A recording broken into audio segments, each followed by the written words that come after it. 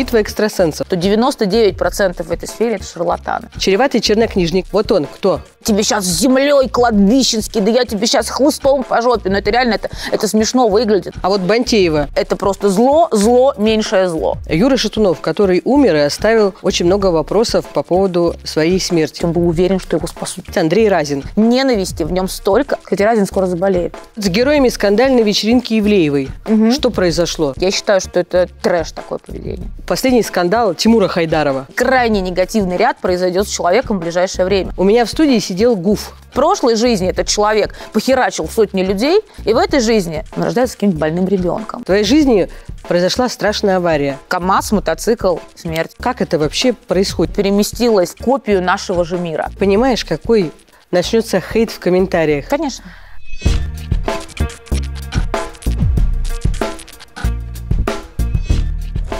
Полина Книна, дипломированный психоаналитик и гештальт-терапевт, после страшной аварии и клинической смерти кардинально поменяла жизнь. Прошла обряд посвящения у африканских колдунов и теперь помогает людям с помощью энергопрактик.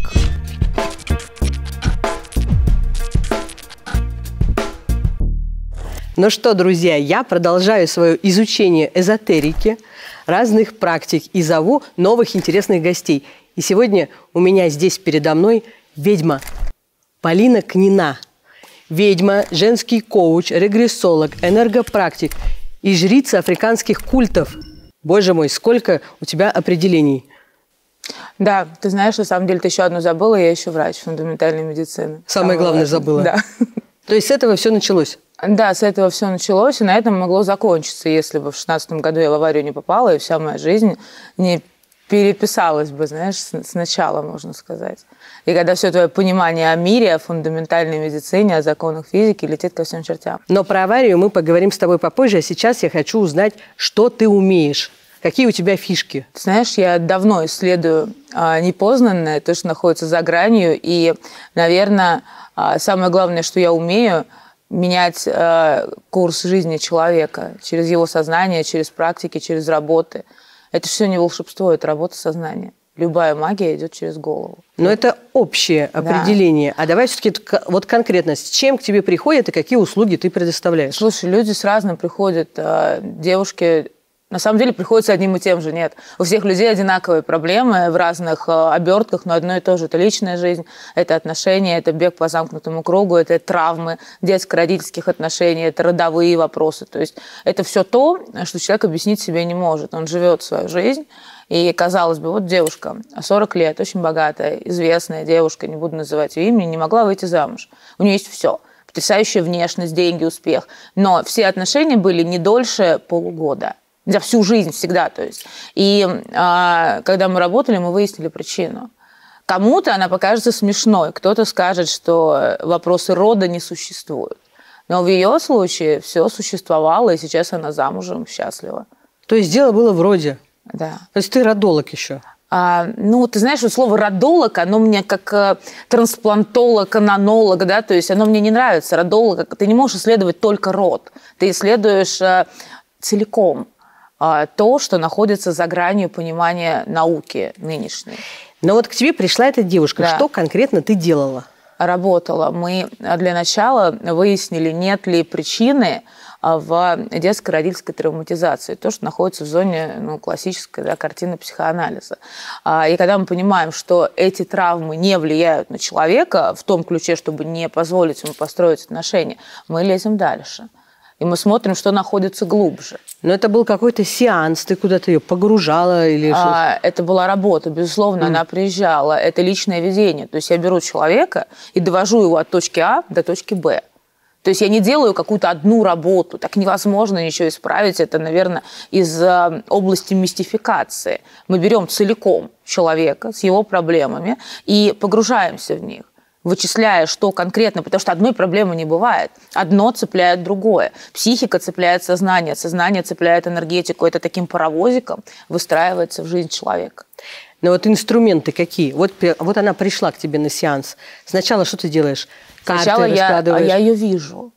А, ты а знаешь, то есть у тебя есть способность да, просто видеть? у меня есть способность видеть, и на самом деле с этой способностью я прошла ни одного психиатра, потому что когда ты видишь каждый день постоянно во всех людях, которые сидят, их энергетический контур, ты думаешь, слышишь с ума. Такое ощущение, как будто ты немножко находишься постоянно и там, и здесь. Очень странное. Но я... не нашли никаких э, отклонений. Я правильно понимаю, что когда перед тобой появляется человек, да. ты способна увидеть нечто большее. А что именно можно, даже не вступив в контакт с человеком, увидеть да таким все. специалистом, как ты? Да очень много. Можно увидеть, э, какие проблемы у человека, какие травмы, какие э, заболевания каких органов есть, э, если тебе это нужно увидеть. Да? То есть, опять же, слава богу, за 7 лет я научилась блокировать поступление постоянной информации, потому что иначе ну, перегорят да, катушки в голове. Вот. А, и можно увидеть все состояние его ментальное, психологическое состояние. Безусловно, я не отрицаю. Я очень хороший психолог. У меня э, второе высшее – это психологическое, потому что без, без него невозможно практиковать, к сожалению. Хорошо, ты это увидела. Да. Какие еще средства ты применяешь? О, хорошо, сейчас тебе расскажу, какие средства. Я жрица африканских культов, настоящая. Я ездила в Африку на инициации, на Кубу, и у меня есть определенные посвящение, то есть определенные пакты с определенными эгрегорами, вот так давай скажем. И, соответственно, работая через них, мы можем исправить энергетическую составляющую. Что такое эгрегор? Эгрегор – это энергоинформационная структура. По факту а, эгрегор есть у всего у любой организации. Это, смотри, когда много человек думают о чем-то одном, эта мыслеформа образуется во что-то такое большое. И это и есть структура информационная.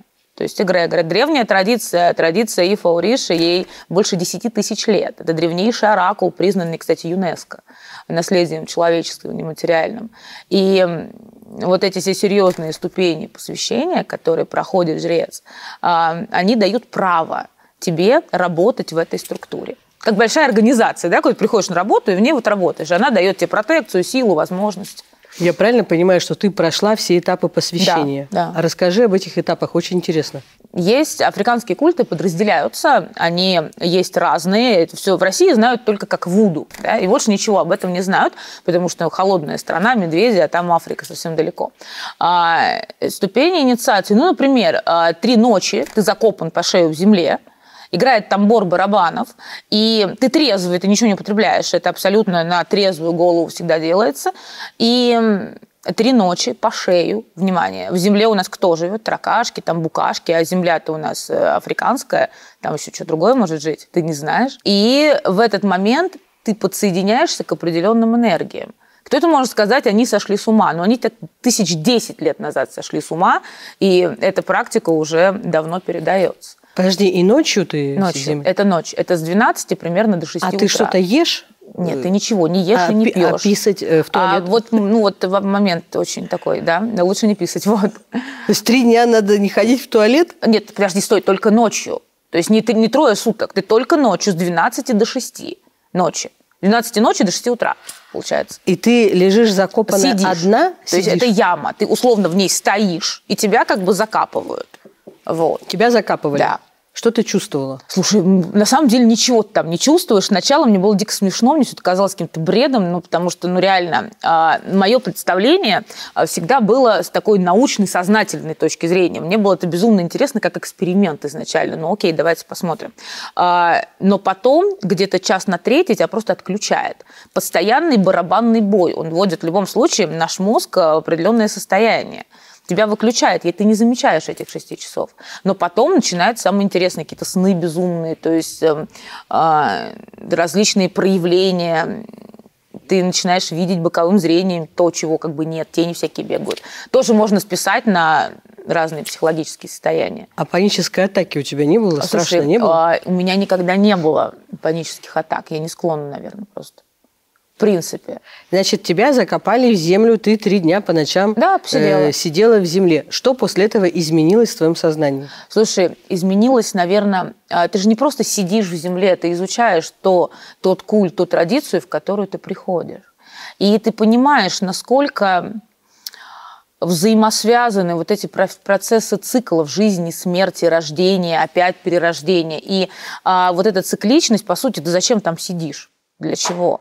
Потому что, а, чтобы почувствовать вот эту энергию умирания и перерождения, тебе нужно переродиться как жрец. Может быть, знаете, есть практика, когда человека кладут в гроб. Очень опасная для психики, в принципе, неподготовленной. Условно разделяя его жизнь на до и после. А, вот плюс-минус, да, только это еще с таким религиозно-оккультная тематика, можно так сказать. Это похоже. Ну, ощущения, можно сказать, похожи, только здесь это делают а, психопрактики, а это оккультная практика, которая наполнена еще энергиями, которая а, пронизывает тебя и максимально, наверное, наполняет. Ален, я не верила, что это работает. Я как человек науки не верила, что вообще существует. Первое, что я себя пошла проверять после своих травм, это голову на предмет шизофрении, параноидального психоза, а, посттравматического синдрома. То есть, соответственно, ты со временем, там год-два мне потребовалось понять, что вот теперь моя реальность вот такая. Какой еще этап был посвящения? А. Если вообще очень веселый, последний, да, то есть это друг, а, есть два культа. Один культ это Ифауриша, второй культ это Пала. Пала Майомбе, Пала Бриюмба, там несколько линий. Так вот, культ Ифауриша, когда ты проходишь последнюю инициацию, а, есть в Африке реки. Да? А в реках живет черт что. Последняя инициация, когда ты снимаешь с себя всю одежду в этой реке, и тебя прям ведрами моют там. То есть для белого человека, для нас это пипец. То есть что там может находиться, ну, рыбы, ящерицы, змеи, никто не знает. Бактерии. Бактерии, да-да-да-да. То есть вот это все, потому что Африка, Нигерия, это самое, наверное... Ты знаешь, сначала меня умиляла эта нищета.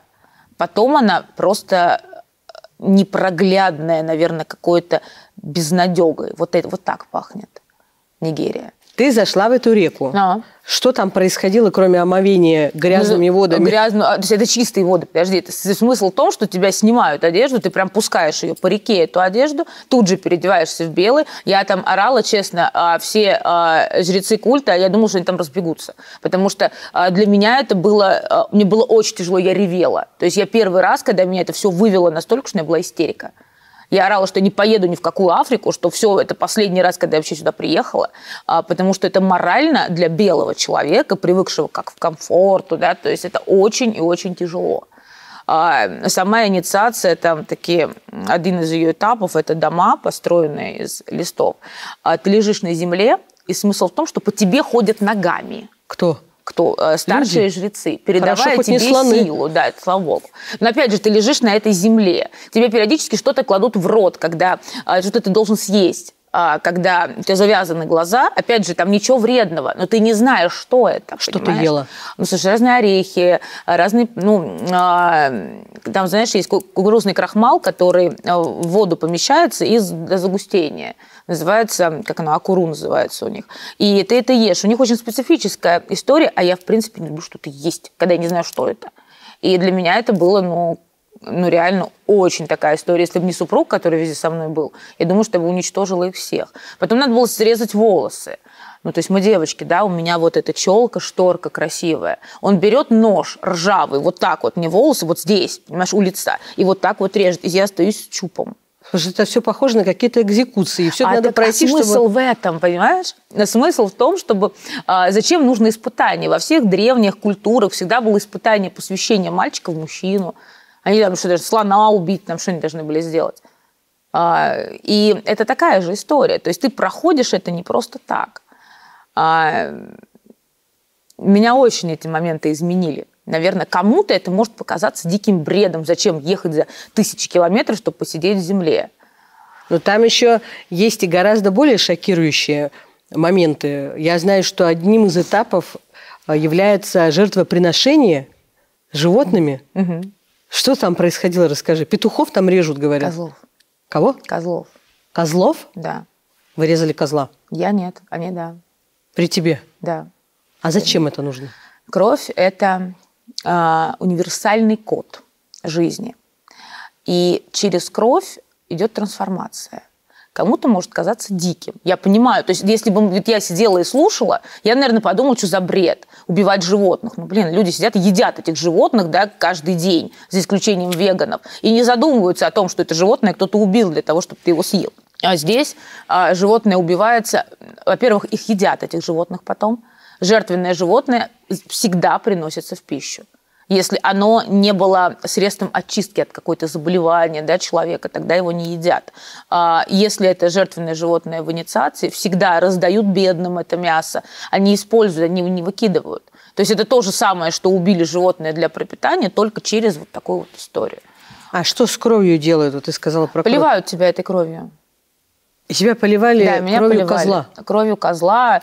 И поверь, там очень много этой крови течет. Вот. И вот сама эта энергетика смерти, рождения нового, старого э, сменяется каким-то диким танцем оккультным. Это все выглядит. А, на самом деле внутри ты очень меняешься после этого. Угу. А, очень меняешься. И если вот меня сейчас спросить, Работают ли эти практики? Однозначно работают. Какие ты способности приобрела после Это прохождения? Способности. Способности у меня были. Они, а, не знаю, открылись, закрылись. Сказать, mm. были ли у меня способности до да, определенных событий, я не знаю. Нет, наверное, я их не замечала с собой. А появились ли они после, я могла бы делать все без этих инициаций. Но без них а, нет, вот, скажем, возможности пользоваться силой этой традиции. Mm. Вот за этим это надо.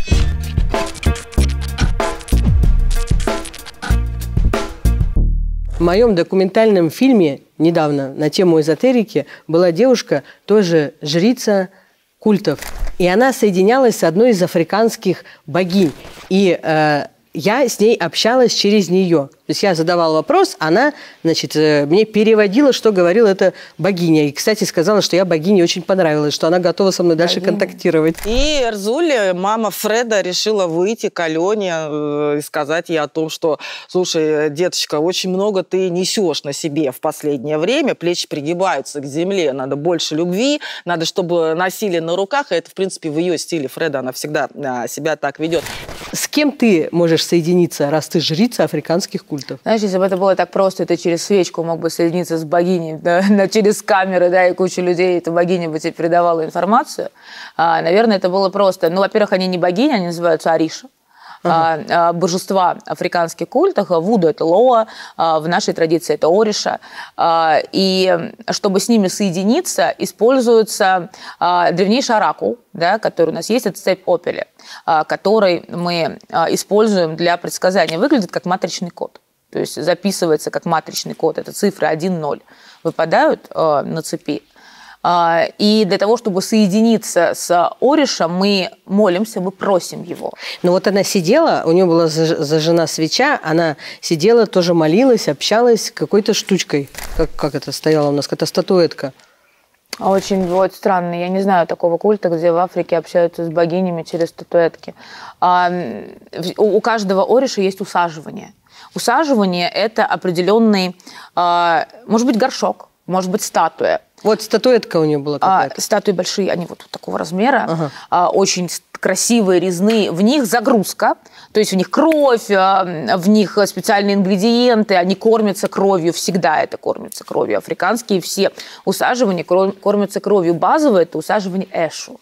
Эшу – это трикстер, хозяин всех дорог и перекрестков, даже метафизических. Вот идешь ты по жизни своей, каждый из вас идет, а он смотрит, куда вас повернуть.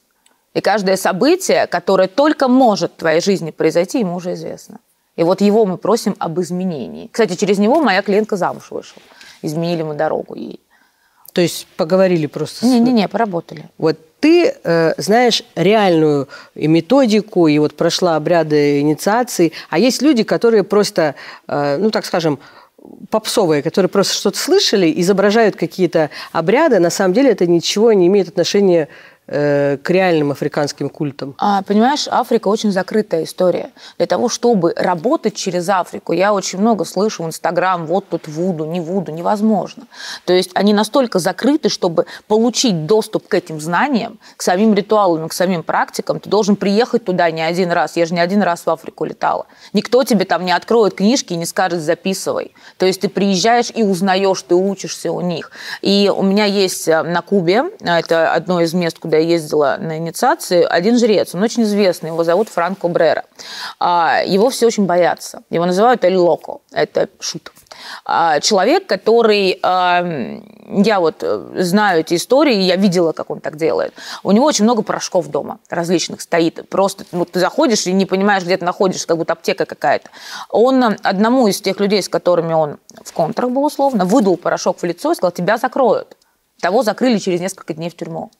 То есть недооценивать мощь вот этой вот древней истории, это же порошок. Что такое порошок? Это вещества, да? Что такое Запрещенные? вещества? Нет, нет, нет, любые, там кора дерева. А. Есть, например, а, дерево, оно называется палос диаблос, то есть это палки дьявола, условно. Это очень ядовитое дерево. Но ядовитое оно только в том случае, если ты его съешь, условно. Если оно куда-то на тебя попадет, ничего не будет. Что делается? Берется этот порошок, растирается, заговаривается, кормится определенным образом и подсыпается к человеку. Человек же не верит, да, херня какая, порошка тебе насыпали, ничего с тобой не будет, вытряхни. Как часто к себе обращаются с просьбами э, получить этот порошок, чтобы насолить врагам? Слушай, я не делаю такое. У угу. меня табу. У меня табу на любой вред человеку. Это в моем знаке жизни вышло, я не могу. Хотя я могу очень сильно это сделать, но э, по какой-то причине мне запрещено. Я не делаю. Но а есть кто, кто тебе делает. запретил? А, инициация, знак инициации. Когда мы приходим на инициацию, выпадает оду. Оду – это знак жизни. И в нем есть определенный табу, который ты не можешь нарушать. А, там такие смешные табу бывают. Короче, одному человеку вышло табу не писать в море. Ну, все же писают в море, да? Ну, давайте, все люди писают в море или в океане. Смешно, да? Так ему рыбка в член заползла, когда он писал в море. Как заползла? Ну, какая-то хрень попала туда. Просто в трусы или ну, прям просто проникла? туда, когда ага. он писал. Ага. Через несколько лет после инициации. Ну почему тебе был запрет не писать в море? Это очень смешная история, многие знают, но смешная до какой степени. А другой девушке нельзя было кататься на лошадях, табу подходить к лошадям, перелом спины, она упала с лошади. Через несколько, опять же, некоторое время. Причем, пока ты не получила эти табу, ты о них не знаешь. То есть ты, в принципе, можешь их нарушать. Но как только ты приходишь в эту сетку, ты уже ничего нарушать не можешь. У меня табу не лечить людей. А, я попыталась вылечить свою собаку. У меня есть собака, которая болеет, и мы вытягиваем его, кстати. Врачи говорят, что это неизвестно, почему он жив. То есть они не могут объяснить. Три года подряд. А, я попыталась его вылечить в последний очень кризисный момент. А, у него было гнойное воспаление. У меня потом на этой же руке, которую я вылечила, на плече был огромнейший абсцесс. То есть, видимо, я забираю, значит, что-то. То есть, и мне нельзя это делать. Какие еще табу у тебя? Ой, э, табу. Не врать. То есть сейчас ты не врешь? Я не вру в принципе. Я говорю так, как оно есть. есть и, понимаешь, один раз, а, как вот а, я не то что соврала, сейчас очень смешно, должна была ехать к косметологу. Просыпаюсь и думаю, блин, как же мне лень. Сказать, что я не могу, ну, думаю, ну как она меня ждет. Говорю, ой, слушай, ворота сломались, не могу выехать, тра-ля-ля. Вечером этого дня я сажусь в машину, завожу, у меня не открываются ворота. Ну, понимаешь, да? То есть я утром наврала, что они у меня сломались, вечером того же дня они не открылись мне. То есть я не попала, куда хотела. Как ты поступаешь, когда необходимо соврать? Да не вру я. То есть я говорю правду. Люди со мной из-за этого общаться не любят, понимаешь? Потому что я человеку говорю то, что я о нем думаю. Либо молчу. Если я не могу сказать, я не буду говорить ничего. Вообще, э, вот я об этом всем думаю, мне кажется, это же совершенно чуждое вообще нашей вообще, культуре, традициям, э, религии. Конечно. Почему тебя понесло в ту сторону? африканскую. 19-я битва экстрасенсов, вспоминаем. Я поперлась туда, прошла все эти этапы и познакомилась на поляне с шаманкой. И она мне говорит, слушай, вот есть такой-то жрец, сходи к нему. Не знаю, что она мне это сказала. Это был мой первый крестный. А, я про него ничего вообще не буду говорить, а, потому что не могу ничего хорошего сказать. Но, тем не менее, первое предсказание, для, а, которое он мне сделал, было максимально точным описанием моей жизни. И я поняла, так, нас через два дня, я говорю, Сережа, поехали, мужу. И мы поехали в Астрахань к нему на машине. Я прошла тогда первую инициацию в том доме. И это было, вот знаешь, хождение по толбам. Это было хождение по разным людям, которые называют себя жрецами очень долго, пока я не нашла своих. Вот я нашла своего крестного, он в Турции живет. Человек, который спасал жизни очень многим онкобольным. Ты же понимаешь, какой начнется хейт в комментариях. Конечно. Что ну какое имеют право рассуждать все эти эзотерики о лечении рака? Это основная а так, проблема. Он не говорит, мы ни в коем случае не говорим И о говорить том, что... о том, что его можно вылечить с помощью магии. Нельзя. Так подождите, нет. А, Я же не говорю о том, что с помощью магии. Фундаментальная медицина первична. Я всегда говорю всем своим клиентам, пациентам, ко врачу. Сначала мы идем ко врачу, и только совместными усилиями мы можем достигнуть результата. Почему? Если болезнь проявилась в вашем теле, все, мы лечим тело. Но причина энергетическая. Причина рака 90% психосоматика. Что такое сознание человека? Принадлежит ли оно этому миру? Сознание. Вот этой матрицы, вот этой 3D-реальности нет. Потому что каждый из вас может представить прошлое, будущее, настоящее, погрузиться в любую возможную выдуманную реальность. Так где находится сознание? Не здесь. Но вот я начала эту тему не случайно. Ты А. сказала, что только совместными усилиями Конечно. можно вылечить. Но ты же знаешь, что врачи, они вообще жестко отрицают Ни хрена. все это. Нет? Нет? Послушай, а, вот а, у меня очень много друзей-реаниматологов. Вот эти люди, которые работают на грани жизни и смерти. А, Либо они жестко бухают, понимаешь, многие из них, не признаются никогда, скажут, нет, да это все херня. У каждого из них найдется парочка необъяснимых случаев. Тогда, когда человек не должен был выжить. Вот не должен был, там у нас реанимация 30 минут должна быть, да, по протоколу. Но в первые буквально, наверное, 5-10 ты понимаешь, да, что все или не все. Иногда там на 40 минуте человек очнулся, и у него даже последствий никаких нет. Не может быть, фундаментальная медицина это отрицает. Мой случай того, что я выжила, это просто вот такой большой болт фундаментальной медицины.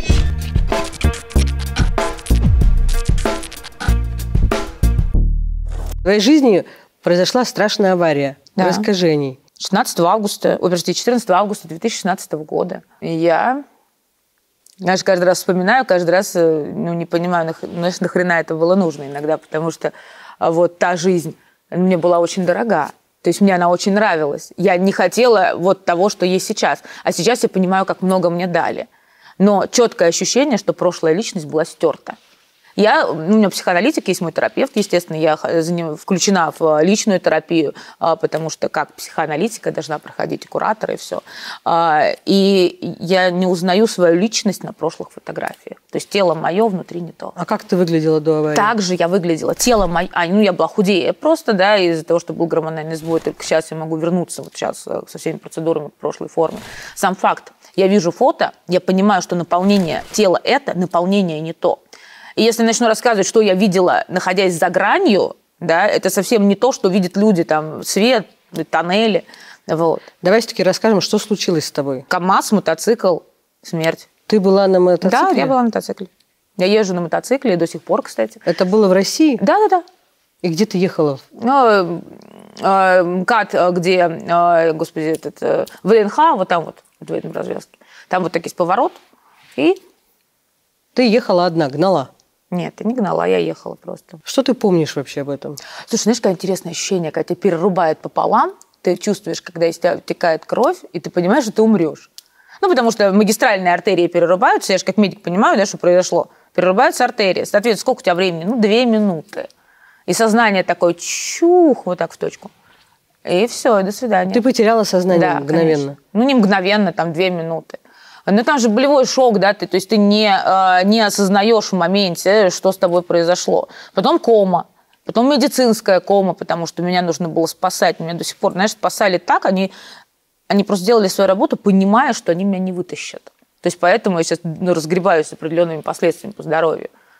А какие травмы тогда ты получила? А, какие травмы у меня? А, рука, например. Вот эти два пальца я не чувствую. Поэтому у меня постоянно падает, потому что сшивали нервы, а падает что-то. Если я держу и забываю, что я держу, все, до свидания, они разжимаются. А, Вот. а, Ноги, основные ноги, удар, ну, так, через голова, а, ребра. Ну, так немного по факту, на самом деле. Основное это вот э, ту удар по, по туловищу, по нижней части. У тебя была клиническая Конечно, смерть? конечно. Да. Как это вообще происходит? И что ты из этого помнишь? Слушай, я помню очень-очень многое. Там минуты, они растягиваются в часы и даже дни. То есть по факту ты находишься энное количество минут, да? Но на самом деле это не минуты. Я там находилась как будто несколько дней, понимаешь, по внутренним ощущениям. И после этого я точно знаю, что время это только прерогатива вот того места, где мы живем. А там все это не так. И я очень хорошо помню объединение с чем-то огромным, что ты не можешь объяснить, когда твоя личность объединяется с ним. Это как будто ты, но как будто сверх ты. То есть это все твои возможные варианты. Я с ним как будто бы объединилась и потом отлетела обратно, но с каким-то новым наполнением. И я видела там очень много. Я видела нижние уровни астрала, на которые попадает человек после смерти. То есть, когда человек умирает, э, вот если кто-то хотя бы чуть-чуть в это верит, э, вы должны понимать, что человек, который умер, находится рядом с вами на несколько дней точно. Он все слышит, все видит, все ощущает, и он еще та личность, которая был при жизни. Потом эфирные тела все, которыми мы живем, отпадают, и он уже не может здесь задерживаться он уходит на другой уровень. Сколько дней с нами люди, которые нас Слушай, ну, покинули. Ну, а почему религия рассказывает, что до 40 дней? На самом деле этому есть определенное объяснение. Я думаю, что э, потому что отпадают энергетические оболочки в течение 40 дней, в течение этого срока. Но меня не было, например, нисколько, да, то есть я не помню себя, находящуюся там рядом с телом, рядом с врачами. А, то есть не... ты сверху ничего я... не видела? Ничего такого не было. Я не видела даже тоннелей. Такое ощущение, что я переместилась э, фактически в копию нашего же мира. Только немножко по-другому оформленную. И э, дальше там были разные разговоры, разные моменты, разные существа. И, э, а какие существа там? Которые там живут. А как вас, они выглядят? По-разному они выглядят так, как ты их воспринимаешь. Понимаешь? Они угу. могут принять любой образ. То есть на, на что ты способен, да, как ты способен их воспринять, так они и выглядят. Люди, которые рассказывают, что после смерти, ну, типа, во время кома они попадали в ад или в рай, им просто показывают этот ад или рай. Им показывают именно то, что они должны были увидеть. Там как компьютерная игра чертовой симуляции ты попадаешь, и ты, тебе покажут все то, что ты хочешь, и все то, что тебе нужно видеть. Ну, опиши хотя бы, как это выглядит. А, что это? Ну, что ты видела? Вот где ты вот, э, как вот что происходило? Мир, такой же мир, представь, просто такой же мир, но немножко как будто ну, то есть палата, больница. Никакая там... не палата, не больница, город. А, город, город, ты в городе да. Была. Я была в городе, и э, там были разные люди. Я помню огромное озеро. А, мне почему-то пришло, что это озеро памяти, куда ты можешь положить руки и вспомнить все свои прошлые жизни и прошлые воплощения. И они ведут тебя туда перед тем, как ты соединяешься. Вот я поняла, что у каждого человека вот вы не думайте, что ваша личность – это единственное, что может быть. Хрень собачья. Вы соединяетесь со своим сверх-я. Кстати, в Африке четко это прописано, я потом узнала. Есть такое понятие, как эгбе – духовное сообщество на небесах. Это, условно, твоя большая часть, которая осталась там, духовный двойник твой. Он существует, ты понимаешь? Это вот огромная сверхличность. А, в которое прож... А, отдает маленький кусочек себя, чтобы ты спустилась на землю и прожила жизнь. Мы же рождаемся, умираем сотни раз. И каждый раз возвращаемся туда, относя опыт. То есть там есть сверхличность, куда мы да, большая свой ты, большая Алена земной путь. Я туда возвращаюсь, и мне потом оттуда снова какую-то а, частичку. Ну, кто-то ты там Ваня, Петя в следующей жизни будешь. Ну, это я буду. А, не личность. Ты рассуждаешь а, как Алена, твоя душа, понимаешь? Ты, личность – это условно накипь на чайнике, а сам чайник – это душа. Почистить чайник накипи не будет, но чайник-то останется. А что ты осознавала в этот момент? А ты это, летала, это значит, ты понимала, что тебя нет? Э, Ничего ты не понимаешь, что тебя нет. Тебе максимально кайфово, потому что ты обретаешь новую форму взаимодействия с реальностью. То есть ты можешь фактически принять любой вид – любую форму, ты совершенно не скучаешь по своему телу, да, то есть нет такого, блин, а, я же умерла, вообще нет. То есть а, просто настолько это нормально, что это происходит. И, кстати, каждый человек выбирает свою жизнь сам. Перед тем, как личность рождается, перед тем, как она приходит э, э, на Землю, она просматривает варианты своей жизни. Очень многие просматривают. Это сверхличность а, Нет, э, вот ты идешь на воплощение условно. И знаешь, это очень сложно, как-то как будто человеческого языка мне не хватает, чтобы это объяснить. Ну как вот Семантики я, вот или всей. моя личность выбирает, где ты мне вот, смотри, родиться, ты идешь на воплощение, да, тебе нужно выполнить определенные mm. задачи. Дано это твоя карма. Да?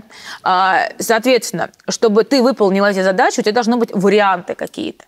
И у тебя есть вариант такой, такой и вот такой. Там условно Алена, вот родилась Алена. Алена должна стать журналистом, да, чтобы рассказывать людям, открывать каких-то новых героев. Ну а вот что ж я опыт. выбрала родиться сразу не Потому в Москве или тебе... в Нью-Йорке? А, смотри, возможно, был вариант, что ты родилась в Нью-Йорке, а, работала в «Таймс», и там в 40 лет там что-нибудь, я не знаю, э, уехала э, дауншифтить э, в Тибет, да? Ага. Ну, примерно, это я просто придумала.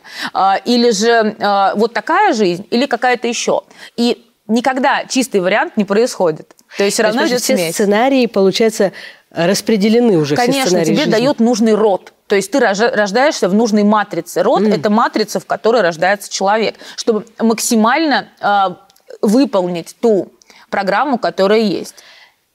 Смотри, если следовать этой логике, то жизнь человека изменить вообще нельзя. Можно. Так смотри. Если ты выбрала сценарий, а там, значит, А он я... же многовариантен. Этот сценарий, понимаешь? А, смотри, если у человека... Тогда бы я выбрала родиться в Нью-Йорке, ты и там бы я уже Это с дауншифтинга бы передумала. Ты сейчас думаешь, как Алена, ага. понимаешь? А нужно думать не как Алена, а как то, что Аленой не является, по сути. И ты выбираешь это, исходя из нужного опыта. Есть люди, которым изменить ничего нельзя их дано, это просто зло, зло, меньшее зло. Потому что в прошлой жизни этот человек похерачил сотни людей, и в этой жизни он рождается каким-то больным ребенком. Не надо это только писать, просто Не, но получается, вот. что он же сам это выбирает тогда. Да, ему нужен этот опыт, потому что нужно отработать вот эту карму. То есть эта личность которая выбирает, она все понимает. Типа, вот я в прошлой жизни плохо поступала. Она не понимает. Дай-ка я рожусь. Э, не она я... назначает, понимаешь? Не личность назначает. Это, блин, опять же, мне семантики не хватает, чтобы объяснить. То есть а, условно это распределение, да, давай вот так назовем распределением, когда ты идешь на рождение, на воплощение, выбирается семья, выбирается род, выбирается условно то, как ты проживешь, но вариантов масса твое будущее также многовариантно, но ты должна получить определенные уроки. Вот в финале этой темы про жизнь после смерти раскрой понятие посмертия. Что это такое? Я в твоих учениях и практиках его увидела. Слушай, посмертие – интересная история. А, больше всего удивляются скептики. Угу. Я, а, знаешь, одному скептику говорю, вот ты, говорю, охренеешь, когда умрешь и поймешь, что все, о чем ты думал, и все, что ты себе представлял, не так. Человек умирает, э, какое-то время находится здесь. Потом переходит э, наш, вообще, вот, вот самое интересное, пирамида, представляешь себе? Наш нижний мир – это вот проявленная реальность. Это та реальность, в которой мы с вами живем, такая тяжелая. Дальше находится астрал а, с его слоями. Дальше условный тот цвет. И дальше абсолют. То есть это можно вот назвать пирамидой. А, по которой мы перемещаемся. У каббалистов есть так называемое древо Сефирот. И есть Сефира Кетер, коронная, и Малкут. Малкут – это проявленный мир. И путь молнии, идущий от Кетер к Малкут, является вот путем творения. Они ближе всего подобрались к описанию, как мне кажется, вот этих миров. Из нижнего тяжелого мира, отбрасывая телесную оболочку, мы переходим во все остальные миры, чтобы опять вернуться в этот. Зачем, не спрашиваю, я не знаю. Это путь жизни вот такой вот, опыт – а может быть компьютерная игра. Ник Бострум, ты, кстати, писала компьютерные симуляции еще в 80-х годах. Очень интересно. А вот после всего того, что ты пережила, побывала там, что-то увидела, страх умереть да нет, никакого. Пропал? Это да, абсолютно. Или не было? А ты знаешь, э, страх умереть, э, как вот э, потерю полную себя, знаешь, такого никогда не будет да, что мы себя еще не обрели, чтобы потерять. Вот эта личность, на которую все э, молятся, я, как же я, вот моя собственная душа, вот я же, что со мной потом будет? Да нет этого ничего. Это настолько все незначимая история. А, ты должен единственное, что сделать, познавать себя, познавать этот мир, чувствовать, любить, отдавать, максимально изучать эту реальность, максимально дарить другим радость, любовь, тепло, заботу. И только это по-настоящему ценно а не возникало желание э, вернуться туда, где ты уже была, где все так классно, интересно? Нет, а, нет такого желания, понимаешь? Есть опыт. Меня же не просто так сюда вернули. А, не просто так, абсолютно. Это, знаешь, это как я не выполняла свою задачу, То есть моя задача была в том, чтобы вести людей. И не в том, чтобы заниматься какой-то, знаешь, магией, волшебством, да, вот все это, а, вот это шизотерикой. Нет, я это изучаю. Шизотерикой? Шизотерикой. Что такое шизотерика? А это как раз вот эти товарищи, которые называются родовыми колдунами, потомственными магами, кладбищенскими гадалками и прочими, ну просто вот этими всеми, да, которые а, видят повсюду призраков, бегают по кладбищам свечками в заднице. Ну то есть вот эти товарищи, они шизотерики, потому что это не научно нисколько. Я пытаюсь... Э, знаешь, где-то одной э, извилиной в квантовой динамике, другой извилиной э, в красной книге Юнга найти объяснение и объединить это. Потому что э, помогать людям, не будучи психоаналитиком, э, не получив э, сколько, определенные знания да, э, в разных абсолютно областях работы сознания, как я буду заниматься практикой? Почему люди верят всем представителям шизотерики? Они хотят верить, нам нужно чудо. В тяжелое время человеку нужно чудо. И хотя бы, чтобы немножечко сказка да, о принце и принцессе была реальной.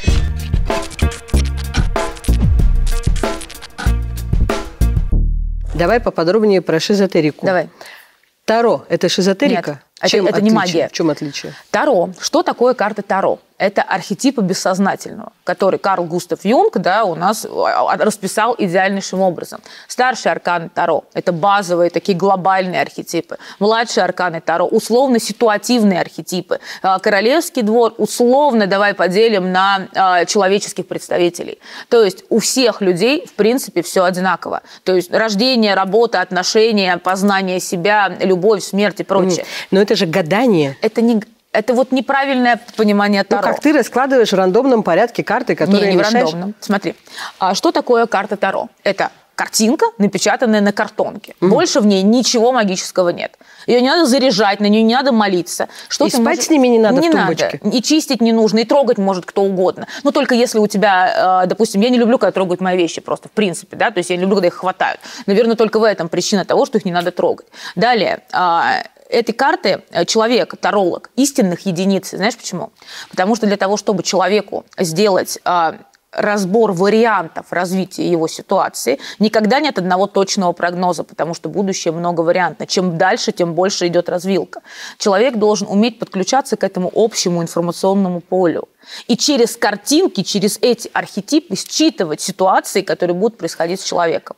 Как распознать настоящего таролога это никак. И отличить его просто от миллиардов этих тарологов. Ну, видно, которые... не знаю, мне кажется, что видно, есть ли глубина в человеке, есть ли в нем смыслы, помимо вот этого всего напускного, помимо того, что каких-то общих клише, которые рассказывают, есть ли у него истинные знания, есть ли у него опыт, есть ли у него понимание. Я таролога знаю одного, гениального. Это гений Таро, но абсолютно максимально нестабильный психический человек. А, он был моим лучшим другом. Мы перестали общаться, но он является гением Таро. Ни одного такого я не видела. Кто это? А, он неизвестен в сети. Вот. Ну ты скажи, что, чтобы люди понимали вообще. Слава его зовут. Вот. А, Таролог Слава. Да. Он гений Таро. И эм, не хочу ему рекламу делать, поэтому не скажу фамилию. Вот. А он меня предал пять раз подряд, понимаешь, и поэтому... Но это гений, я признаю его гениальность. Все его расклады, все, сбывались 98% точности. 90, блин, 8%. Тогда он говорит, будет так. Я говорю, да как будет так? Да невозможно это. Он говорит, будет так. И оно случалось именно так. Я таких не видела больше. Давай дальше про шизотерику. Битва экстрасенсов, в которую ты ходила. Да.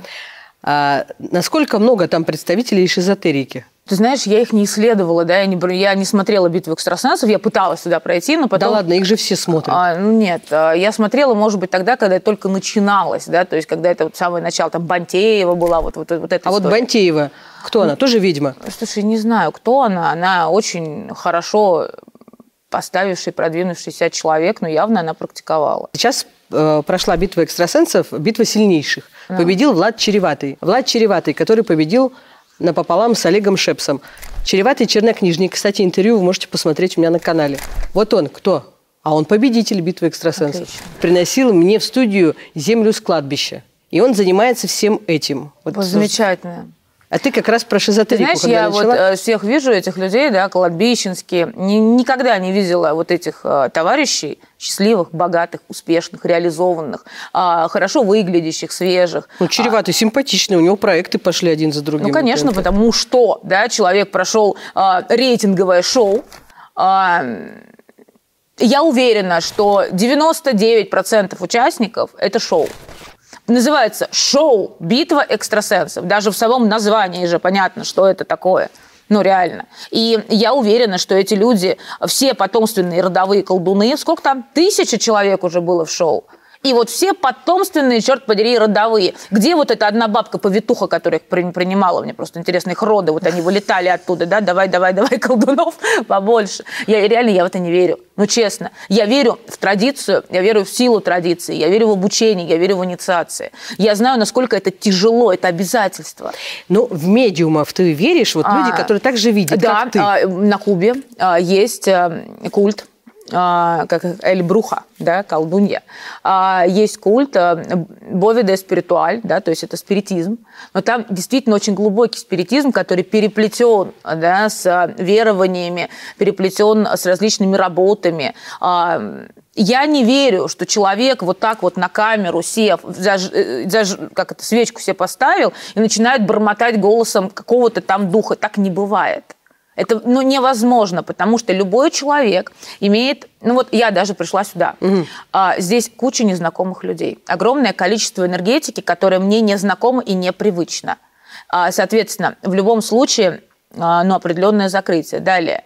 А, Работают камеры, работают устройства. Невозможно соблюсти все нужные мероприятия, которые нужны для работы. А, Я правильно понимаю, что ты во все это не веришь, но за битвой экстрасенсов ты послеживаешь же, как и все. Да нет же. Но ты же туда ходила на кастинг. Я, вот это, вот смотри, это как раз-таки 19 сезон. Думаю, так, 19 августа у меня день рождения, значит, надо мне пойти на 19 сезон. А, у ТНТ есть все на эти кадры наверняка. Как я считывала, у них черный конверт закрытый А ты полностью. угадала там Я все угадала, естественно. Дважды я все это угадала. А, про, про всех человеков рассказала. А Они в мне- машине нашла, в какой машине? я не поехала на машину. Почему? Во-первых, до 5 утра.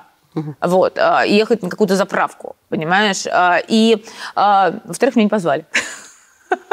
Это ладно. А, значит, короче, а, прикол в том, что была эта ширма. За ширмой шла операция Йорку или кому-то. Я четко описала. Собачки? Да, собачки. То есть телевидение помнит. Понимаешь? А, Но, опять же, были люди, которые не знали, ни черта не умели, но каким-то образом они лай, лай, лай, да, оказались дальше.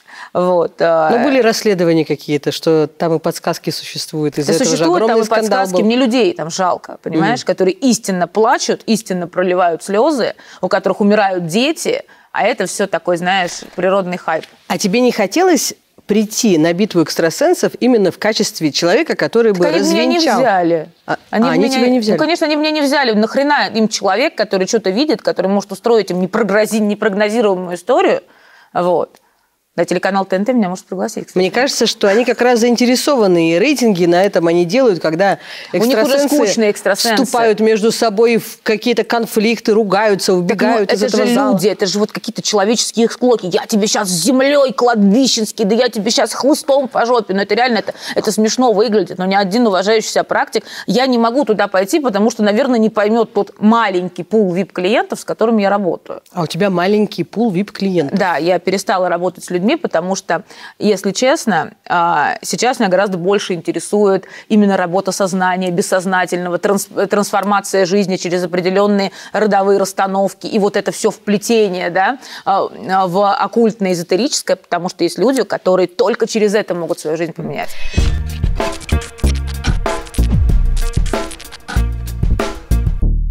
Вот ты сказала про маленький пул VIP-клиентов. Да. Я правильно понимаю, что ты дорогой специалист? Очень. Раз у тебя маленький пул, Да. что же они все тебе носят? По Ну, несколько миллионов? Вот э, были там губернаторы, назначали губернатора моего. Я не буду называть это их имена. То есть ты человека Два. можешь помочь, чтобы его губернатором Безусловно, назначили? то если он работает где-то в правительстве, он хочет, да, то есть не просто вот пришел ко мне с улицы, да, я стану губернатором. То есть у меня есть люди, которые получили эти должности, я смотрю, там совещание правительства, у него браслетик мой такой, тынь-дынь, тынь-дынь а, на ручке. Вот. а, и То есть это специальный обряд, где ты это, это комплекс работ не, одна- не один месяц, понимаешь? Чтобы человек получил ту должность, которую он хочет, и посмотреть, сколько вариантов, да, и сколько людей надо сделать, и чтобы у нас субъектов федерации не ограниченное количество. То есть кого-то должны сместить и именно этого назначить. Полтора года мы работали. Я не представляю, сколько он тебе заплатил. Хорошо заплатил. Назнач... Вот кто назначает губернаторов у нас Он подарил мне машину, но я продала, потому что мне не нравится эта модель. Вот купил другую. А, да, и хорошо заплатил денег. Потому что он бы заплатил больше за эту должность, если бы пошел прямым путем.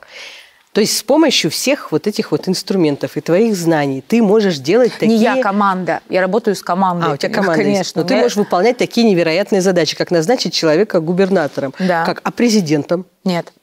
Это миссия. Это человек, который, знаешь, Богом послан. Владимир Владимирович – это человек, который обладает мощнейшей энергетикой мощнейшим пулом, то есть это человек, который стена. Понятно КГБ, понятно ФСБ, все понятно. Но представьте, управлять страной, черт подери. Я боюсь себе представить, что такое управлять страной и кучу лет спать по три часа в сутки. Давай еще про твоих VIP-клиентов. Ну. Кто к тебе обращается, кроме кандидатов в губернаторы? Даже тут, знаешь, иногда у тебя на заставке промелькивают. Вот. У меня? У тебя, у тебя. Так, включите заставку, сейчас я... Филипп Киркоров. Не знаю такого, вот. А, Но, тем не менее, понимаешь, есть люди, которые а, своим сознанием немножко вырастают над миром вот этим человеческим миром таким, да, материальным, и понимают, что далеко не все управляется вот отсюда. Что у нас есть энергетика, что у нас есть событийный ряд, который можно формировать человека. Мы, мы по сути, когда я прочитала Ника Бострума, да, почитайте, кому интересно, а, и я, я, вот это было еще мое убеждение, что это матричное пространство. Оно реально такое. И, соответственно, есть варианты развития, которые распространяются в разные стороны. И если найти механизм этим управляющий, ты будешь получать то, что ты хочешь. Я познакомилась с тобой на магическом девичнике Алены Водонаевой, где, кстати, была куча представителей шизотерики, мне кажется. Слушай, не было, там одна была из шизотерики. Но ты сидела, гадала как раз Да, на картах да, второй. да, Я к тебе уселась тогда. Ты мне сказала очень интересные, правдивые вещи. Да. Потом мы с тобой договорились поработать. Да. Вообще никак не поработаем. Ну вот Но уж после твоих рассказов про губернаторов я к тебе... Я тебе потом на ушко кажется, скажу, кто, чтобы ты знала. Видела их в На лицо. какое ушко телевизоре. нас смотрят миллионы? А я тебе потом.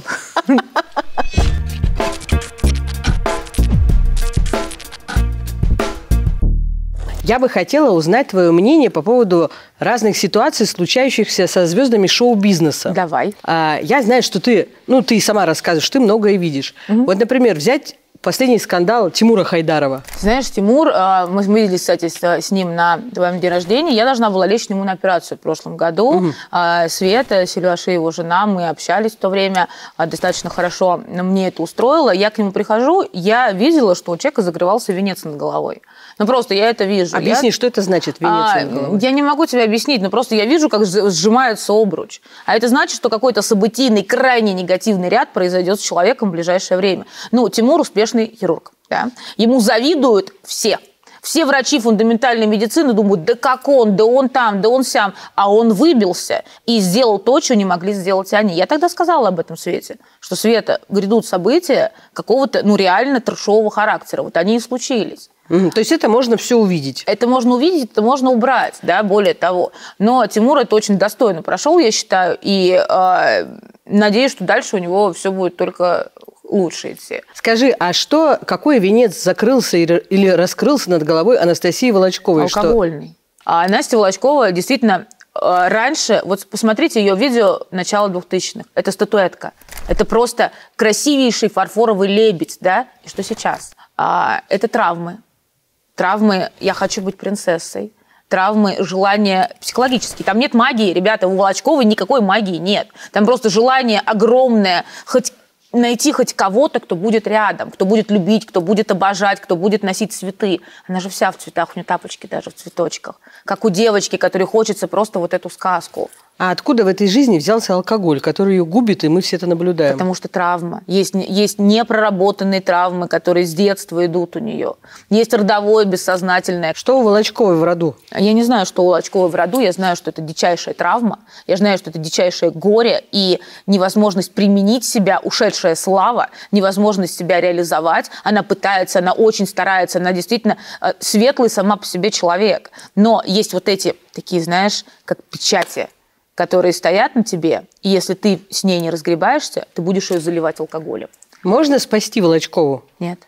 Я думаю, что нет. Она не хочет, ей не надо. У нее все хорошо. То есть как можно спасти человека, который тебя не просит спасения? У нее отлично, она на Мальдивах, у нее все окей, шпагаты, Мальдивы, Джигурда. Эти люди выбрали сами свой путь, да, такую, такой эпатаж, такой хайп, такую всю историю. Им так нравится, но вопрос в том, счастливы ли они? Ответ нет. Счастлива Волочкова? Ответ нет. Человек, который бросается на каждого мужчину в желании найти там своего, от любви к себе это делает, от баланса внутреннего, от гармонии, конечно, нет. Часто ты э, пытаешься сказать звездам, каким-то популярным людям, что у них грядут проблемы Нет, в жизни. Я не спрашивать не говорю. Зачем? Я говорю это либо близким, да, то есть которые, ну, с кем я дружу. А, вот, например, у Аланы Мамаевой, да, это близкая моя подруга. А, очень люблю этого человека. И тогда, когда был развод с Мамаевым, а, я уверена, что нынешняя женушка Мамаева творила дичь, потому что болели дети так, что я только успевала их чистить, и они выздоравливали. Что это было? То есть, э, так вот это не для видео, я вообще уверена, что Мамаев привороженный нахрен. Потому что он давно уже лишен личности. Там вот эта история в аэропорту, когда он оборачивается, да, пошел на. Все-таки, может, вашу позицию Вы можем? снимаете Нет, я журналист. Вы зачем снимаете? Я нас? хотел вашу позицию. Ребенка, сейчас я телефон разобью, ты понял? Я хотел вашу позицию нормально Я осветить. говорю, ты зачем снимаешь на... Хорошо, я хотел, не будет позиции? Моя позиция. Понял. Он всем своим телом даже поворачивается из-за нее как будто. Он выглядит ужасно, его энергетическое тело ужасно. Он никуда без нее не ходит, он трясется вот так вот. Но там а, а, однозначная, ну, серьезная такая прям шапочка на человеке. Чух. А ты Удобно. пробовала работать с их историей? Алана не хочет, ей это не надо. Алане не нужен человек, который мало того, что изменил ей, а, не заботится о ее детях, забыл свою дочь, э, бросил своего сына, которого он таковым назвал, и мужиком, в принципе, не является, могу в лицо ему сказать. Я считаю, что это трэш такое поведение.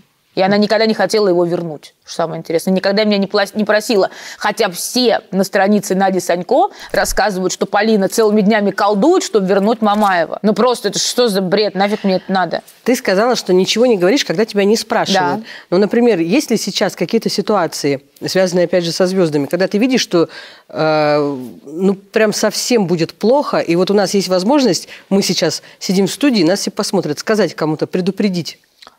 Знаешь, какая проблема? Я их всех забываю. У меня после а- аварии, ну, кратковременной памяти проблемы. То есть я какая-то кузнечка. У кого там может быть? Ну, давай, вот ты мне называй, я буду вспоминать. Кого? А вот с героями скандальной вечеринки Ивлеевой. Что произошло? Ты это вообще как-нибудь могла увидеть? Или вот что сейчас вот будет Слушай, происходить? я думаю, что просто всему есть свое время и свое место. Я не думаю, что это... Они как, взрослые люди. Каждый имеет право прыгать в трусах где угодно. Но когда ты взрослый, известный человек, ты уже должен понимать, где, как, в какое время и ты можешь в каком виде где прыгать. Но я уверена, что никаких каких-то глобальных, серьезнейших проблем у них не будет, все восстановится. Ну, контрактов лишаться, да, каких-то, ну, еще что-то. Но здоровье их не лишили, жизни их не лишили, из страны их не выперли. То есть ничего не произошло. И, соответственно, со временем у людей все наладится. У меня в студии сидел Гуф. Кстати, интервью можете посмотреть на моем канале. У него куча проблем и с женщинами, и в жизни он своей не может разобраться, и зависимости. И вообще он кажется потерянным человеком. Что ты видишь? Вот Слушай, я по поводу думаю, его? что Гуф человек, который потерялся уже достаточно давно и найтись не может уже много лет. А Запрещенные вещества, они разрушают не только сознание человека, они разрушают энергетический контур. И до тех пор, а он употребляет. То есть я уверена, что человек, который до сих пор употребляет. И пока человек находится в употреблении, периодически да, захаживает в этот иллюзорный наркотический мир, а, чему-то наладиться в его случае невозможно. Так он сам не хочет. Основная проблема большинства людей, они сами не хотят ничего в своей жизни менять. То есть они как бы хотят, чтобы поменялось, но делать ничего не хотят. То есть вот если я буду здесь сидеть вот так, как есть, и если оно поменяется, то зашибись. Можно магию для этого, да? Чего обещают все гадалки? Что у вас изменится при отсутствии ваших движений. А так не бывает. То есть э, ситуация, когда человек приходит, э, обращается к специалисту по магии с, с проблемой, которая не у него, а, у, например, у близкого, то ее решить вот так вот в одностороннем порядке невозможно. Нужно, Слушай, я считаю, что захотел. личный контакт нужен всегда с человеком. Человек должен хотеть решить вопрос, потому что если человек не хочет, какого есть свобода выбора, да, то есть мы не имеем права вмешиваться. То есть он должен попросить об этом. И то, когда человек тебя просит ему помочь, он должен понимать, какая колоссальная работа ему предстоит. Потому что никакая магия без работы над собой не работает. Только в минусовом негативном ключе, потому что люди склонны лететь вниз. И вот толкнуть его под зад, чтобы он полетел вниз, гораздо проще, чем вытащить со дна, на котором он находится.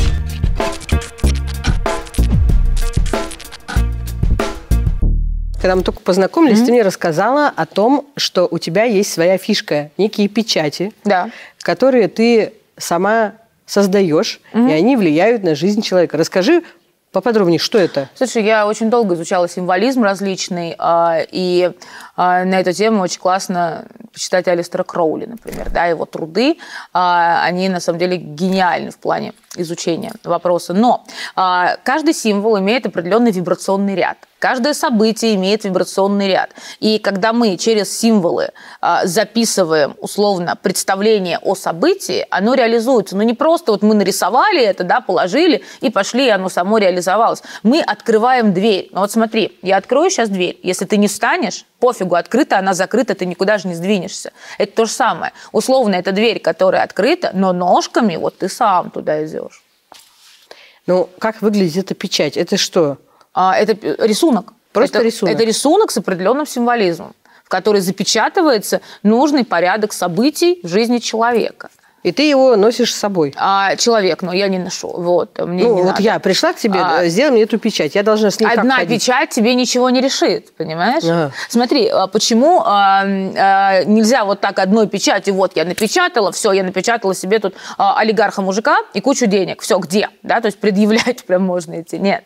То есть, чтобы так было, человек приходит ко мне, мы смотрим, почему в его жизни происходят те или иные события.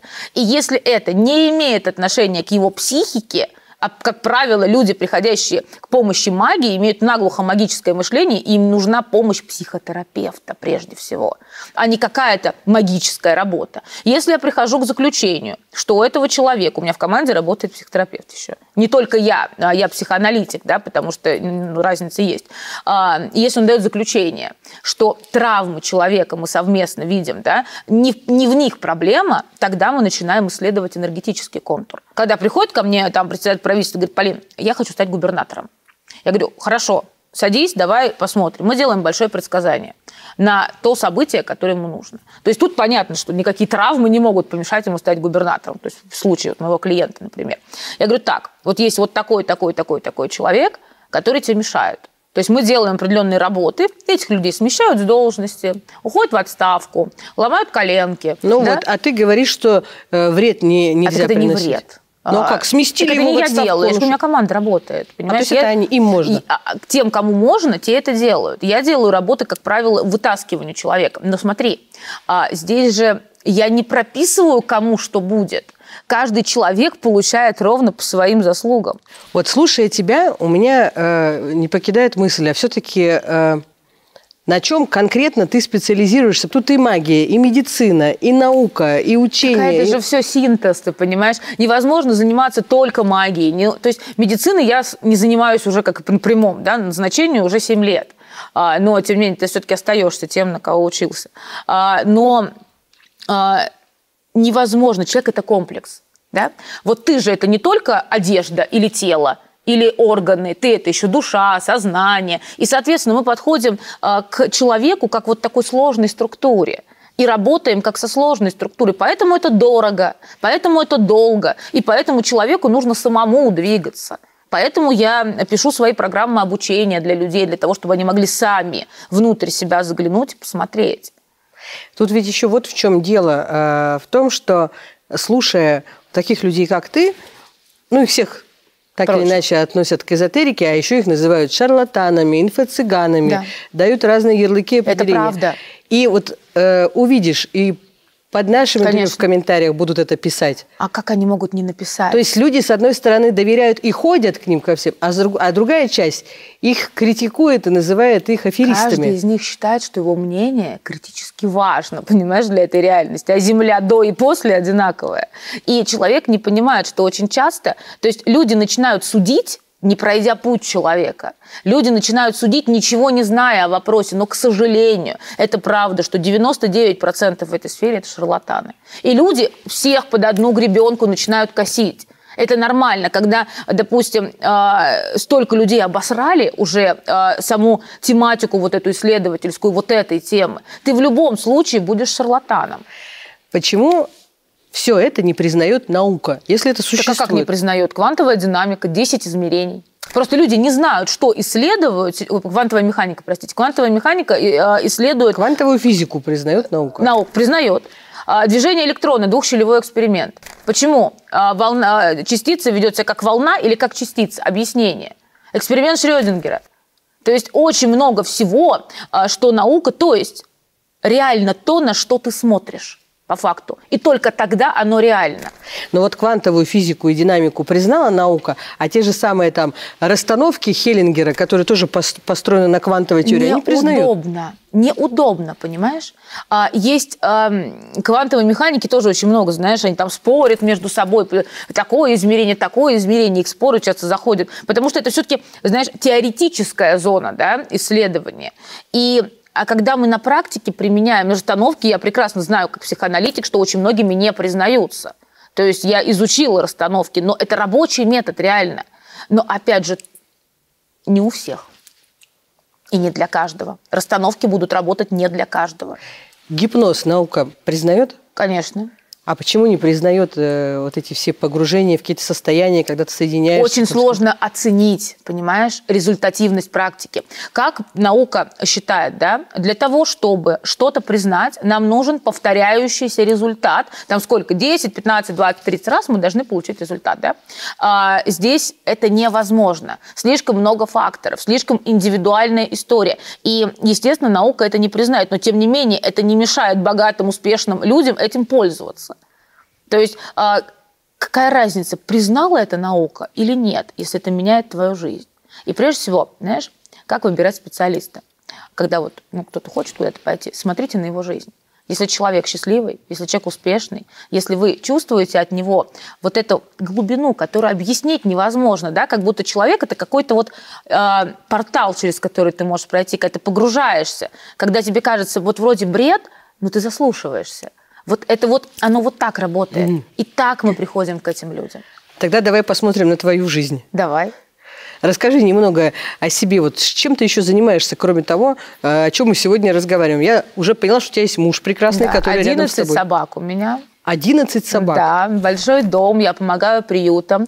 А, сейчас я очень хочу заняться, если честно, изменением законотворчество на тему насилия женщин в семье. Угу. А, потому что история Грачевой с отрубленными руками, история многих женщин, когда это насилие, знаете, приходите, когда убьют. То есть вот это, у меня очень много женщин, подвергавшихся различному насилию, я с ними работала как а, психоаналитик, я с ними работаю как практик, потому что восстанавливать там не только психику.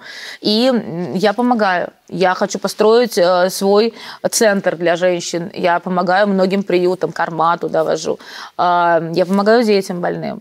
Mm-hmm. То есть э, я очень много отдаю, потому что я считаю, что это правильно. А, как иначе? Твой супруг как относится ко всем твоим увлечениям? Ну, вот, ты знаешь, мой супруг – это, наверное, э, моя база. Без него меня бы вот такой, как я есть, не было бы никогда. И моя огромная любовь – это мой человек, мы 7 лет живем, мы не ругаемся. Ну, так, я ору на него, конечно, естественно.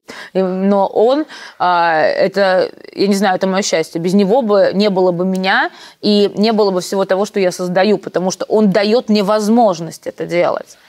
А он имеет отношение к эзотерике? Он жрец культа. Он, он жрец культа, да. поэтому у вас идеальная пара. Конечно, а вы ты не ругаетесь. Знаешь, он никогда в это не верил до встречи со мной. То есть это человек-скептик на тысячу процентов.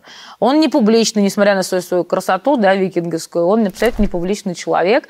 А, ему, у него есть свой бизнес, да, то есть то, что приносит деньги, помимо там всего этого прочего. Я это исследую. То есть мне нравится учить людей, а, мне нравится открывать им новые грани их самих, и а, я в этом развиваюсь. А он дает мне базу, чтобы я могла развиваться. У вас есть дети? Будут. Я а. не смогу никогда родить сама, но через суррогатную мать будут. Вот. У меня есть дочь. И на протяжении 15 лет я ее возвращаю к себе обратно. Возвращаешь? Да, мой родной отец лишил меня прав. Хорошую мать прав не лишав, лишат. Я думаю, да ладно, сколько у нас матерей пытаются забрать своих детей от мужей. Просто у меня папа имел возможность и силы а, сделать так, что просто вот поставили печать и все. Ну, человек при высоких погонах очень был. И, как он сказал, только через мой труп ты заберешь свою дочь, так и получилось. Через его труп. А почему он хотел забрать? Я очень была похожа на маму. У меня же умерла мама в четвертом году, умерла сестра, у меня умерли все родственники, все близкие. У меня есть только племянница, дочка и а, сын племянницы. Он ненавидел меня, наверное, с самого рождения. То есть вот какая-то... Он очень любил мою сестру, а меня нет, старшую. При том, что моя сестра была каким-то диким эссенция золотой молодежи 90-х, гербового шика и всего вот этого. И он ее боготворил. А а опекунши моей дочери, он даже не сказал, что у меня высшее образование. То есть я была для него всегда говном. И он а, тогда решил, что ребенку будет лучше так, без матери. Непонятно. Мы с ним поругались жутко, а, и вот так он мне отомстил. А, он умер в 18 году, и похоронить приехала его только я. Понимаешь? Никто больше. Только я приехала, я его хоронила, а, за свои деньги, естественно, все это делала. К старости он совсем сошел с ума. Ну так, головой поехал нормально от одиночества. А, я давно его простила, но травма, нанесенная моей дочери, да, от разлучения с матерью, от того, что она 15 а, лет жила там условно, мы с ней с 18 его смерти общаемся, и только вот сейчас я возвращаю права, и только сейчас это получается. Это такая просто цепь геморроя вернуть ребенка. А сейчас где твоя дочь? А сейчас она пока с опекунами, следующего года она будет жить со мной. Ей поступать, ей учиться. Вот. А, она прекрасно понимает, что я не виновата. Все, где они живут, они знают, какой был мой отец. Они прекрасно знают, что он за человек, и они знают, почему так произошло. Но у нас же люди гораздо судить всех и вся, да, не зная ситуации. И в этом же опять, да, я, я знаю очень много историй, как отбирали детей у матерей. И после того, как это произошло, это была, наверное, дичайшая травма, да, то есть отрыва ребенка от матери. И тогда нашел, началось у меня такое, знаешь, какое-то внутреннее самоуничтожение. Все эти мотоциклы, все эти абьюзивные mm-hmm. отношения. Ты начинаешь убивать себя сознательно. И я добилась своего, да, я умерла. Но меня вернули обратно с другой абсолютно целью, с другой абсолютно загрузкой и с другими параметрами. То есть судьба такая, знаешь, веселая. Книгу буду писать.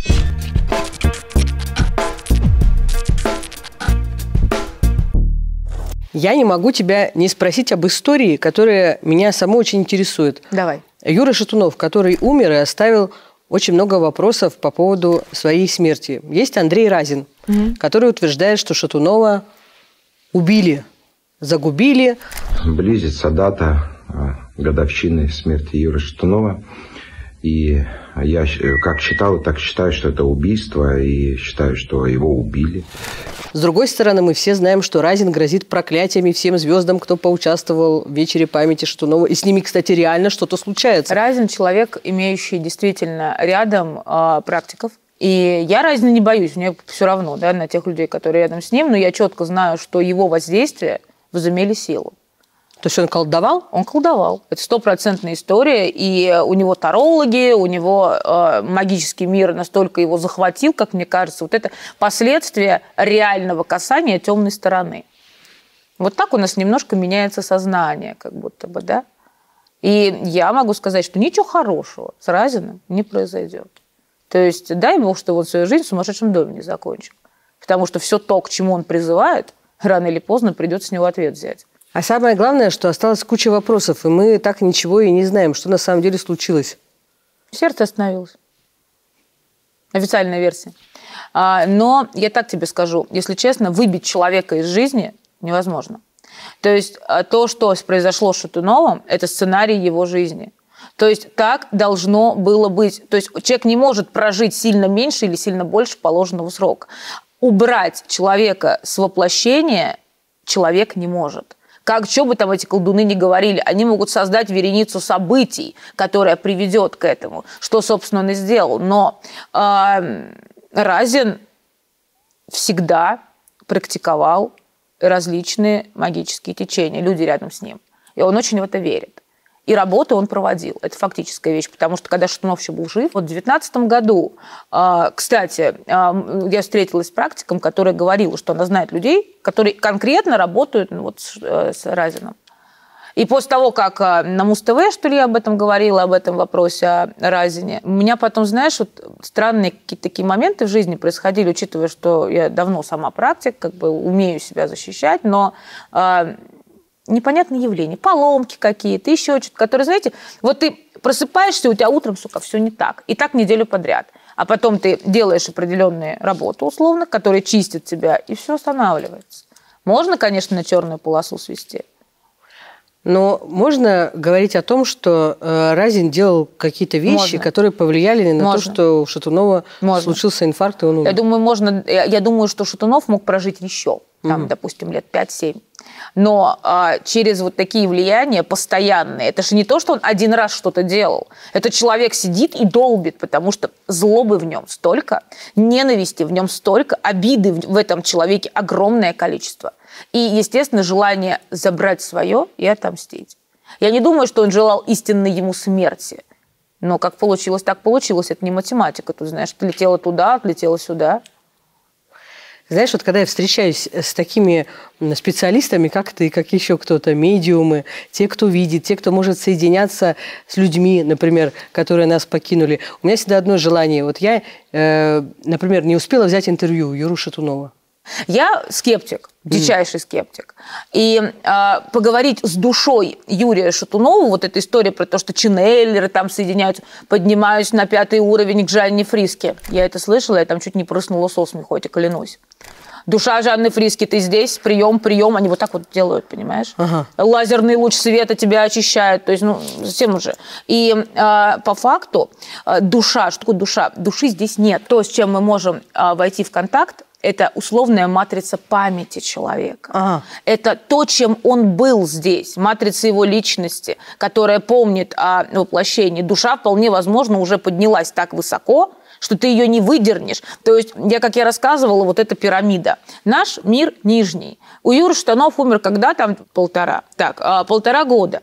А, Соответственно, а, его душа уже не находится ни в нашем мире, она находится где-то в верхних уровнях астрала, плюс-минус.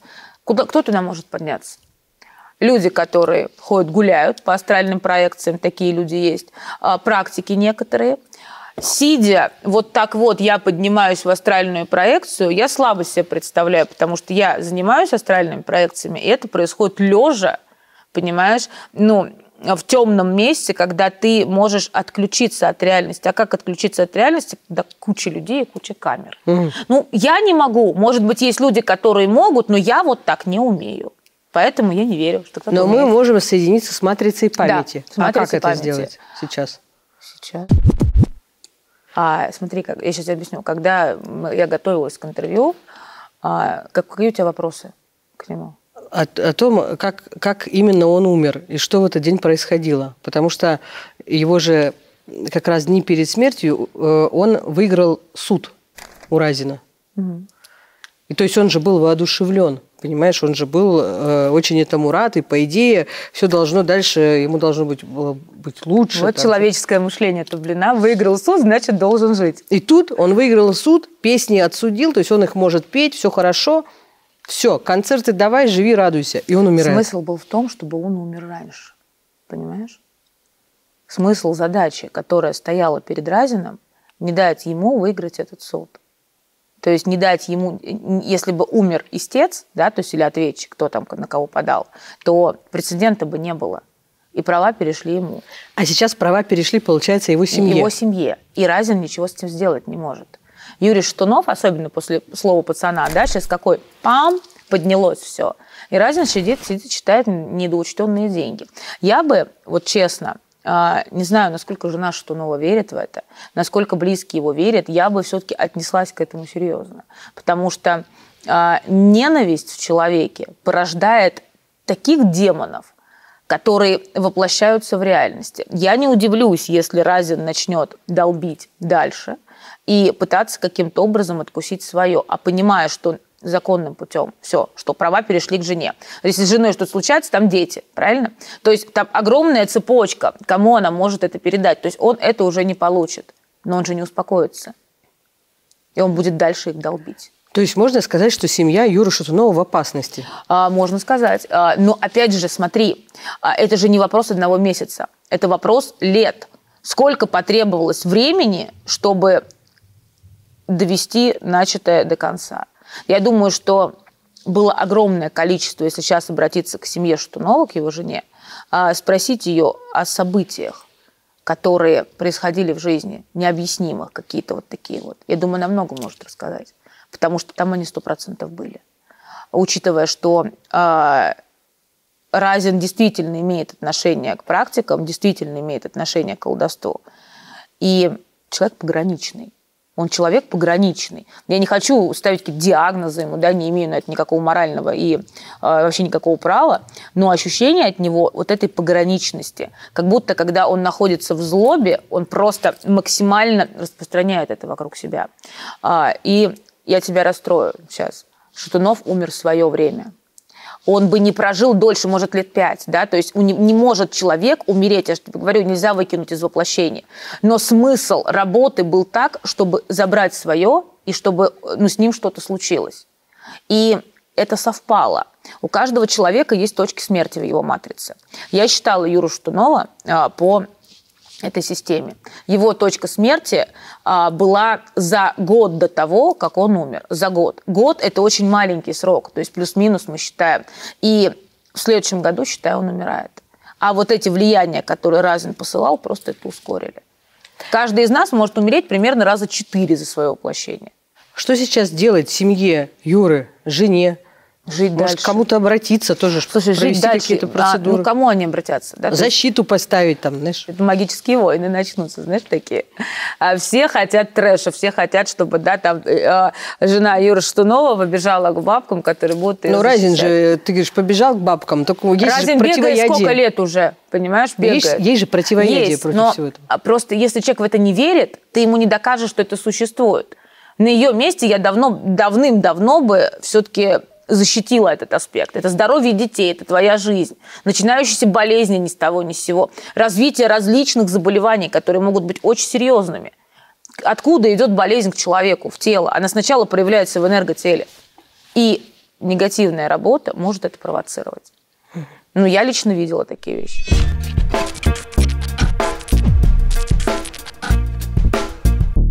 Давай все-таки соединимся с матрицей памяти Юры Шатунова. Тебе надо войти в определенное состояние для этого, я так понимаю. Да, наверное, да. А, смотри, что такое матрица памяти, чтобы люди все понимали. Матрица памяти – это не душа. Матрица памяти – это не сам человек. Матрица памяти – это остаточная энергетическая оболочка от э, того, что человек, кем он являлся. Соответственно, там мы что можем увидеть? Э, не ожидаем полноценных развернутых ответов. Это не личность. Да? Э, не ожидаем того, что Юра Штунов сейчас приедет и э, проявится. Тоже мы этого не ожидаем. Это не дух.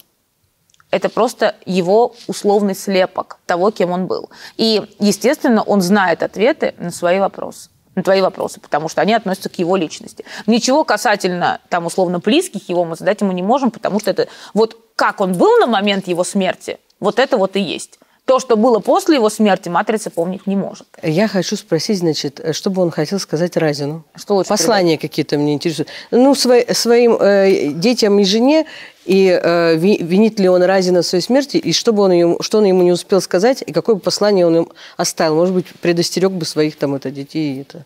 Я, короче, принесла с собой оракул. Это оракул Ифа. Это древнейший оракул в мире. Оракул это... Это цепь. Ага, Это покажи. цепь опеля. Сейчас, секунду. Вот, выглядит она вот так. Через нее мы считываем знаки. Знаков всего 256, 16 старших и 240 младших. Считаются знаки по выпадению, да, условно, как выпадают вот эти штучки при броске. Это старшая нога. Для того, чтобы условно у меня был проводник в этом матричном мире, я задам те вопросы, которые ты хочешь, через оракул. А для того, чтобы это было все максимально честно, максимально правильно, и чтобы эти ответы были взяты на самом деле оттуда, откуда мы хотим, а не из какого-то, да, там. А ты должна его держать или Нет, что? нет, нет, я буду выкидывать. Я ждать мне надо будет. выкидывать? Нет, на стул. А, Да, все, окей? да.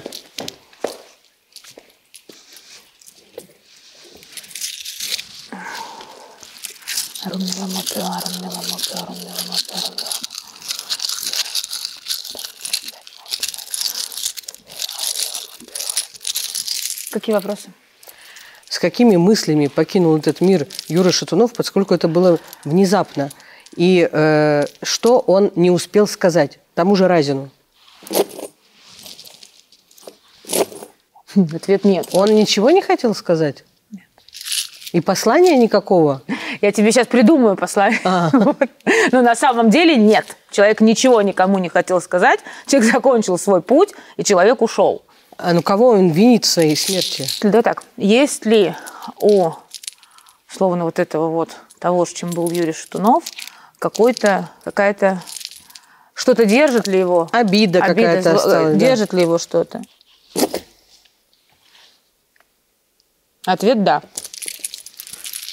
А можно узнать, на кого он держит обиду? Мы, конечно, мне кажется, все знаем, на кого, но все равно Держит ли он зло? зло. А цепляют ли его поступки этого Разина? Обида и злость. То, что Не, да, он и, испытывает. э, и у меня вопрос. все-таки его уход из жизни очень внезапный и преждевременный. У него маленькие дети.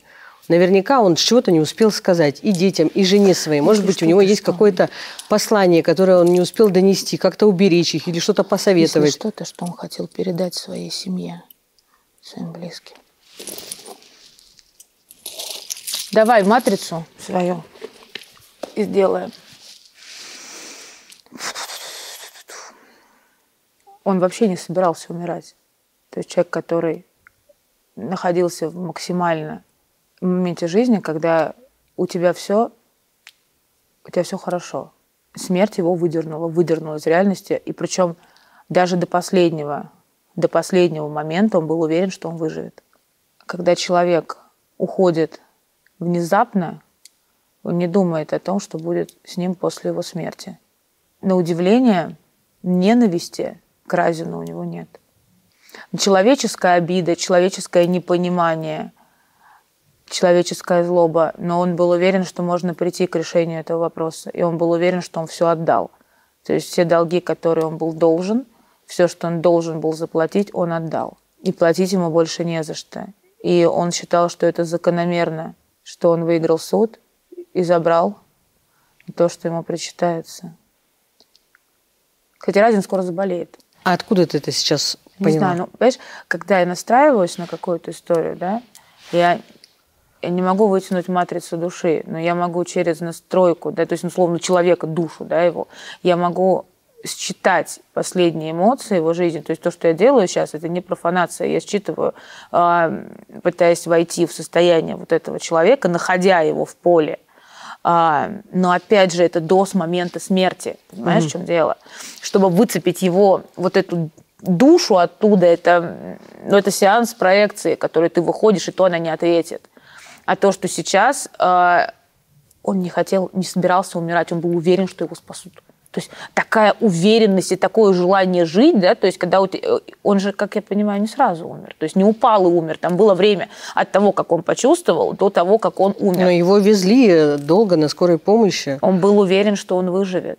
То есть он был уверен, что он выживет. И четкое ощущение, что как будто какой-то сбой в программе. Вот я не могу тебе это объяснить иначе. Сбой в программе. И по факту его могли спасти. Его могли спасти. То есть э, я не читала заключение, да, мы его никто не читал, а, но там все события разворачивались как будто против него. Там замешкали врачи. Да, э, его привезли в больницу, в которой ему не могли помочь, и куда-то еще должны были везти. И не успели. вот именно что события, которые разворачивались в, даже в тот день, где они были, ну, где он там находился, должно было пойти все не так. То есть все должно не тот сценарий проигрался того даже дня. То есть они могли хотеть поехать там куда-то, знаешь, позже, раньше, а, не тот состав, не те люди, кто-то не успел, кто-то не смог. Как будто вот знаешь, как подменили событийный ряд, и а, его смерть он не смог бы прожить дольше сильно положенного срока. Но в нашем мире пять лет – это увидеть, как живут твои дети и растут. Он этого не увидел. Я считаю, что конкретно в его случае, знаешь, я не могу сказать, что чистое колдовство было причиной смерти, но когда вот нужна бывает последняя капля. Понимаешь, да? То есть вот событие, и только последней капельки не хватает для реализации. Вот эта история. Это история э, гибели одного из самых ярких голосов 90-х. И он не мог умереть по-другому. Ты понимаешь, в чем дело? Он не мог дожить до 90 лет и умереть в своей постели. В его сценарии не было этого. Его сценарий плюс-минус, вот он такой. Но самое, что интересное, что если посмотреть один из вариантов, Разин мог умереть раньше его. Я на сто процентов уверена, что он не проживет долго, Разин. Это, ну, это мое ощущение. Я надеюсь, что я ошибаюсь. И пусть потом скажут, да, если вдруг, слава богу, когда-нибудь я ошибусь, а, я буду этому очень рада. Но на месте Разина я бы проверила свое здоровье как минимум, а как максимум перестала бы желать всем зла, всех ненавидеть. Да и печень здоровее будет, понимаешь? И система, и отеки пройдут, и жить будет проще. В принципе, когда зла на людей не держишь. А когда ты долго работаешь вот с этим миром, который называется магическим, сущностным, оно на тебя начинает влиять. И твое сознание начинает замещаться. То есть от тебя прежнего уже мало чего остается. Вот я тебя послушала, и ты сейчас вошла, я так понимаю, в какое-то состояние. И смотри, что мы выяснили, что все, что случается в жизни людей, вот даже взять историю Юры Шатунова, ведь это, как ты сказала, что Разин мог колдовать, ведь это все от соприкосновения с этим миром. Конечно. С магическим, с неопознанным. Так не лучше ли вообще от него держаться подальше? Лучше. Да. Ты знаешь, а, тем людям, которые придумывают себе этот мир, лучше держаться подальше. Но иногда этот мир – это единственный вариант вылезти из пропасти. Людям свойственна жадность, алчность, ненависть друг к другу, злоба. И этим они питают низ, низкие вибрации. Сила, она не имеет цвета. Зависит от оператора, чем она будет, добром или злом. Я считаю, что то, что делаю я, спасая людей, а, давая им возможность жить по-другому, это свет. Я не использую тьму. Но это же выбор, который ты делаешь. Спасибо тебе большое, что была у меня в гостях. Спасибо Много нового тебе. я сегодня узнала, а финал так вообще, я думаю, будут обсуждать все. Да, надеюсь, посмотрят на магию с другой стороны. Друзья, смотрите наше интервью с Аленой Блин, подписывайтесь, комментируйте, ставьте лайки. Очень жду.